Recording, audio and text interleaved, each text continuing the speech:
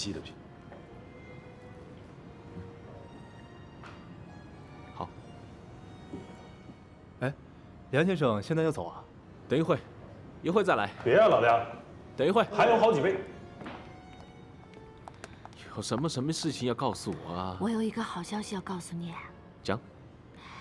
今天阿曼达跟我说，我可能有机会调去香港店铺。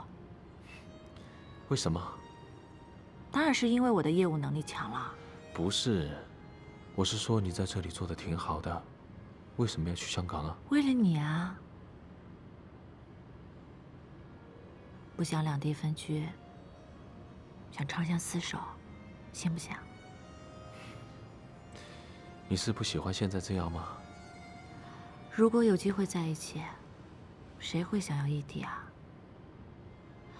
反正对于我来说呢，在这里也是票，不如飘去你身边，还省了机票呢。如果真的去了香港，我爸妈也不用催着我回家了。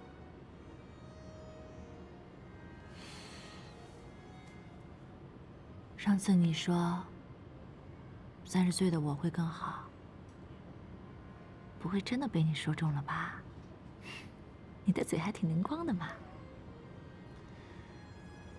你再好好考虑一下。做销售不就是做熟客吗？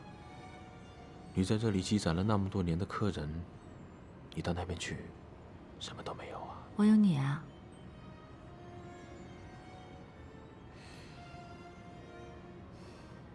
你在顾虑什么？怕我赖上你啊？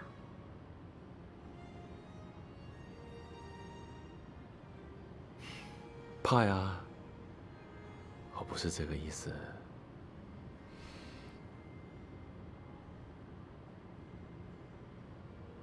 就算我去了香港，我也会继续工作，更努力赚钱养自己。香港有我们的总部，真有机会去到那边，就相当于升职。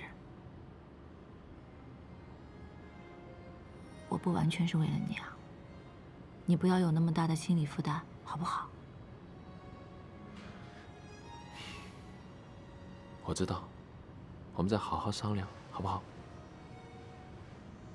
不商量。商量吧。不商量。梁先生，回来了，该买单了。走了，去买单。走了。